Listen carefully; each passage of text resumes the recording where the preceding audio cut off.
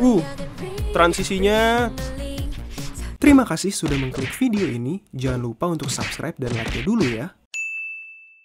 Halo guys, balik lagi sama gue Febrian Surya dan hari ini gue pengen ngeriak salah satu grup dari JYP yang di mana teman-teman juga pada request nih multi agency ya guys. Jadi ke depannya gue mungkin akan lebih random dan bervariasi aja untuk untuk konten reactnya dan nggak terpaku di salah satu agency aja atau satu grup aja guys. Jadi semuanya kebagian kontennya, semuanya senang, semuanya happy dan adil guys. Karena tujuan konten ini sebenarnya sih kita untuk sama-sama belajar bareng aja gitu. Kita kulik bareng-bareng musiknya gimana dan semoga bisa berguna untuk kalian juga. Dan teman-teman kalau punya rekomendasi video jangan malu-malu untuk spam komen di bawah karena pasti akan gue baca guys. Dan untuk kalian yang mau support lebih, gue juga udah cantumin link donate Saweria di bawah ya guys. Oke guys, tanpa lama-lama lagi kita langsung aja ke konten sarjana musik react, tapi kita intro dulu.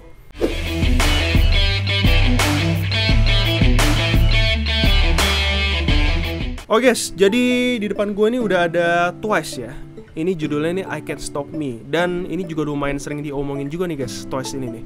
Ini termasuk salah satu grup cewek-cewek yang terkenal juga ya di agency JYP ya. Ini gue udah penasaran banget nih lagunya kayak gimana. Yang Twice I Can't Stop Me ini dirilis tuh Oktober 26 2020. Jadi uh, masih lumayan lumayan fresh lah ya untuk lagunya ya. Ini sekitar 3 menit 40 detik. Oke guys, langsung aja kita tanpa berlama-lama langsung kita coba dengerin lagunya. Sarjana Musik Ria. Oke, dia kayak bunga-bunga gitu ya. Oh, oke. Soundnya vintage ya guys. Kita dengerin intronya dulu nih. Oke, vokal udah masuk di situ. Wow. Oke, kita stop dulu. Oke guys, dia intronya tuh pakai electric piano ya guys yang lumayan panjang juga reverbnya. Dan uh, sama dia pakai tuh di belakangnya tuh ada synthesizer yang dari instrumen ini dari kalau kalian tahu tuh namanya Moog M O O G. Itu tuh dia yang ngisi belakangnya yang bassnya guys. Nih kalian bisa denger nih. Dia ngisi low bassnya. Tung tung teng tung tung tung teng. Nah di belakang itu kalian denger deh ini sound soundnya vintage ya guys. Jadul gitu. 80-an dan transisinya dia pakai slide juga guys ya. Oh iya, untuk kalian belum tahu dia tuh pakai scale, pakai tangga nada di main leadnya itu pakai pentatonic minor guys namanya nih. Yang ini. Teng deng. Nah, itu kayak Chinese Chinese gitu. Oke, kita ulang lagi nih. Asik ya? Ini gue udah dapat nih tujuannya Twice ini mau ke mana nih lagu ini nih. Oke, transisinya mantep. Oke, kita coba dengerin first one. Kita coba ulangin first one ya. Uh transisinya. Uh gila. Ini sen sente bassnya tebel banget ya. Oh asik asik. Uh, menurut gue nih sinte bassnya yang di belakang itu tuh dia pakai muk itu tuh tebel banget guys. Dan menurut gue simpelnya uh, beatnya nih masih simple tapi soundnya tuh tipe-tipe beat beat yang party 80-an gitu guys asik banget deh Oke, kita lanjut ya. Oh, udah masuk trap di sini nih. Uh, suaranya enak banget nih. Siapa tuh nyanyi? Ada vokal juga ya guys di belakang ya. Oke, kita seperti biasa kita pause dulu, kita kulik dulu nih. Di bagian pre-chorus ini udah masuk trap hi-hatnya guys, udah masuk yang ter ter ter gitu udah masuk. Terus bassnya juga ada rada-rada sedikit di sustain, sedikit di slide dan vokalnya tuh ada backing vokal yang ditahan guys di sini guys. Kalian denger deh. Kita cari dulu deh. Mana nih? Nih ya, coba ya. Pre-chorus itu di menit ke 3 uh, eh, detik 30. Backing vokalnya dikit aja. Nah, di situ guys. Nice.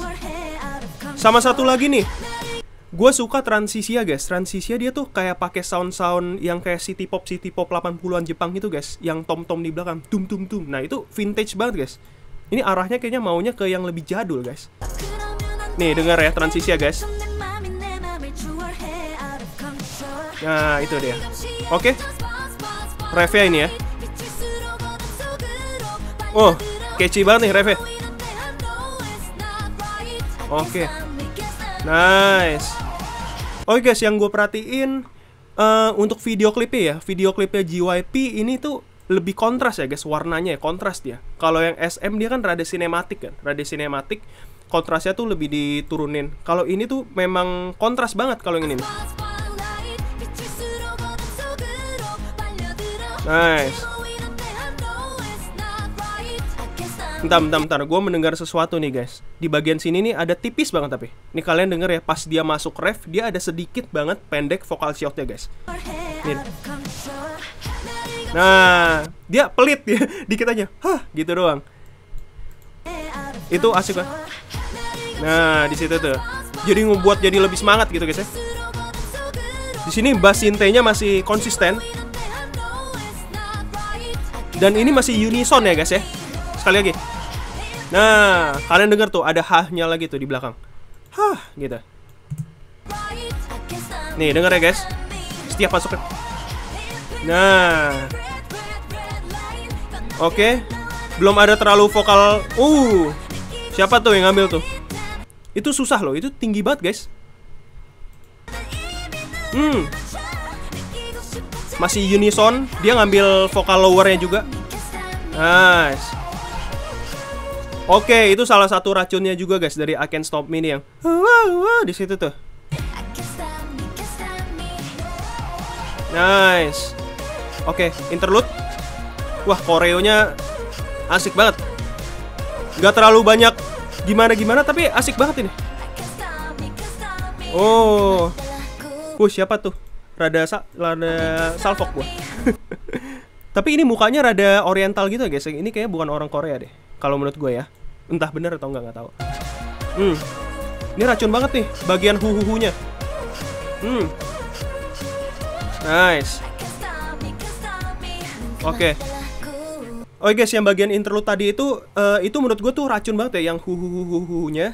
Itu pinter banget cari nadanya di situ dan lebih dominan suara beat sama vokalnya di sini guys. Daripada uh, suara elektrik pianonya ya yang di bagian interlude itu ya guys. Oke, kita coba lanjut yang ini bagian apa nih? Coba kita dengar. Oke, diberhentiin. Ntar, kita ulang dikit. Oke, di sini ya. Oke, ada breaknya dikit. Oke, masuk lagi tuh. Transisinya asik banget. Dia tom-tomnya pakai 80-an punya, guys. Oke. Guys, kalau kalian sadar di verse 2 ini, guys, uh, I Can Stop Me ini Twice ini dia lebih menggunakan vokal-vokal yang lebih staccato guys, yang lebih dinamis nih. Kalian denger ya, lebih putus-putus guys. Coba nih. Nah, di situ. Nah, itu dia staccato. Jadi lebih dinamis dan nggak cepet bosan guys. Nice. Ini bagian oh ada hi hat trapnya ya. Pre-chorus ya guys. Oh, mulai ada vokal-vokal shout backing vokalnya ada juga yang tadi. Oke, kita dengar sekali lagi ya. Itu bagian pre-chorus 2. Uh, eh, beat trapnya itu mulai masuk lagi. Abis itu dia mulai bermain dengan komposisi vokal juga guys ya, yang beda ya di sini ya. Ini berarti detik ke 132. Nah, backing vokal itu lagi. Oke, ada yang shout di situ. Backing vokal masuk. Ah, gue suka banget itu tom-tomnya 80-an banget. Asik, guys. Ref 2, ref 2. Oh, ada yang ngambil tuh ya. Ada yang ngambil adlibnya yang huh, huh, di situ. Hmm. Aduh, gue salfok mulu nih sama yang ini, guys. Uh, nah, yang ini nih. Oriental banget soal mukanya. Nice. Hmm, asik. Wah, terakhirnya itu yang terakhirnya yang transisi yang itu ada dikasih efek juga guys. Tapi gue nggak tahu tuh efek apa tuh. Yang pasti tuh pitchnya tuh ada yang dinaikin guys itu pasti. Soalnya tebel banget di situ tuh. Nih kalian dengar ada yang dinaikin naikin satu oktav. Nah itu dia. Oh wah hmm ada yang ngambil guys runnya. Oke. Kita habisin dulu yang ref 2 nya Oke, guys, yang di ref 2 ini masih unison, tapi ada yang ngambil suara tengah, bawah sama atas, tapi itu tetap satu nada, guys, tetap unison. Nah, abis itu di sini dia udah mulai bermain di vokal-vokal apa? Udah bermain di vokal compositionnya, guys. di shot-shotannya itu. Udah mulai dipecah juga. Nih ya. Nah, itu dia. Saut-sautannya itu, guys. Nice. Oh, ada bagian rap ya? Oke. Nice. Oh, ntar gue jelasin mixingan di rap ini, guys. Nice.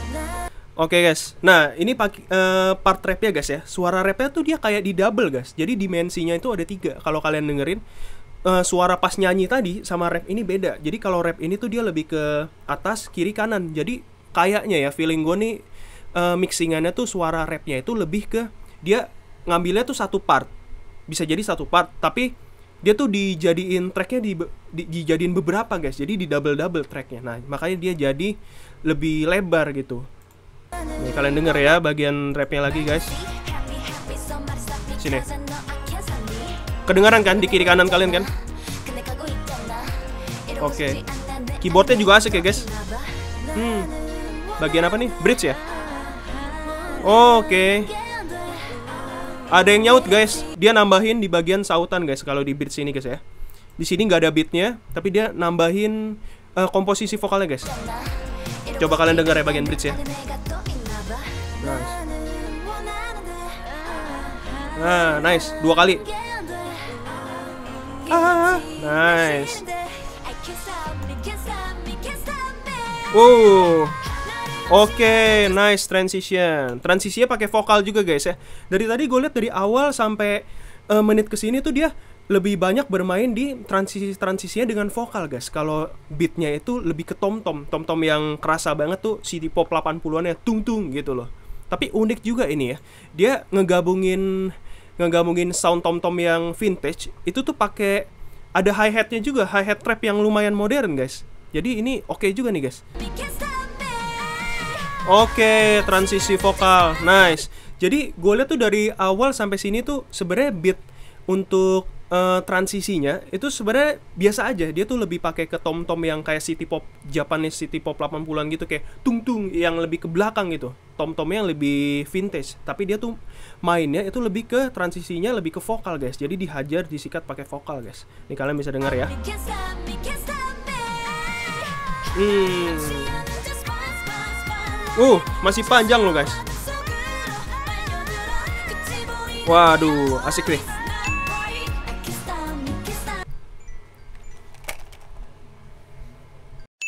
lanjut guys, sorry guys, ada paket tadi. Oke, oke, gue suka banget nih guys ya sama improvisasi tadi ya guys ya. Yang bagian habis bridge guys. Nah guys di sini guys ya, gue suka banget sama dia tuh ngambil ngambil vokal tingginya. Hmm, masih panjang. Uh, gila. Uh, masih panjang guys, digas terus guys. Hmm, Asik. Itu lagi keluar tadi racunnya, guys. Hmm. Ini beda nih kayaknya nih yang improv nih. Asik. Hmm. Uh, tinggi banget. Buset dah. Kayaknya ini yang ngambil improvisasinya dua orang yang berbeda guys ya. Yang tadi yang ref yang awal sama ref yang di sini tuh partnya tuh beda. Yang terakhir nih tapi gue suka banget guys. Tinggi banget di situ. Oh, gue nggak nyangka dia ngambil. Uh, gila. Nice. Oke, asik ya guys Korea ya. Hmm. Ending ini guys ya.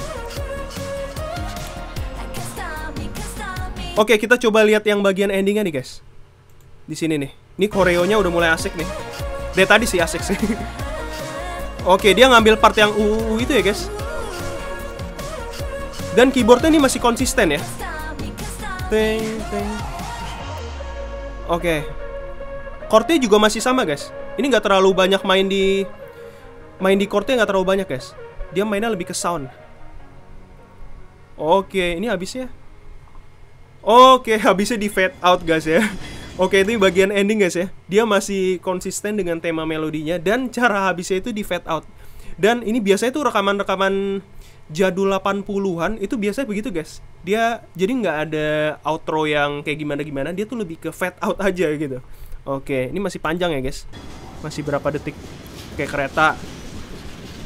Uh, keretanya jatuh Oke guys, itu adalah I Can't Stop Me dari Twice ya, dari JYP ya. Oke guys, untuk kesimpulan dari Twice I Can't Stop Me ini sebenarnya dia uh, banyak pakai konsep-konsep yang approach-nya pen atau pendekatannya itu lebih ke vintage guys. Vintage yang kayak 80-an gitu tapi dicampur sama hi-hat rap-nya itu jadi menurut gue suatu mix yang unik ya. Dan dia banyak juga bass line yang dipakai guys ya. Terus ada main lead intronya juga dia pakai elektrik lebih ke elektrik piano. Dan yang paling kerasa vintage-nya itu satu adalah yang mencuri perhatian gue nih adalah transisi dari tom-tomnya itu guys. Itu yang lebih ke city pop Japanese. Kalau kalian buka uh, di Google atau di YouTube city pop Japanese pasti kalian sering mendengarkan sound-sound drum yang kayak gitu guys. Dan uh, untuk mixingannya itu menurut gue memang lebih modern ya. Jadi tuh perpaduan antara sound-sound vintage yang di mixing secara modern. Modern itu adalah mixingan tuh yang lebih kerasa lebar gitu, uh, nggak mono, lebih stereo gitu guys ya. Jadi bisa dibilang nih sound-sound jadul yang dikemas dan dicampur dengan mixingan yang modern guys. Oke guys, untuk yang suka sama video ini kalian bisa like, kalau yang nggak suka kalian bisa dislike. Dan kalau kalian mau rekomendasiin video juga ke gua apa pun yang yang akan gue react nanti kalian bisa komen spam komen di bawah. Dan karena pasti gue akan baca guys ya. Uh, terserah kalian mau dari agensi mana pun dari grup mana pun nanti gue akan baca dan gue akan pertimbangkan untuk gue react selanjutnya guys ya. Oke guys kalau gitu gitu aja. Gue Febrian Surya. Sampai ketemu di Sarjana Musik React selanjutnya. Bye bye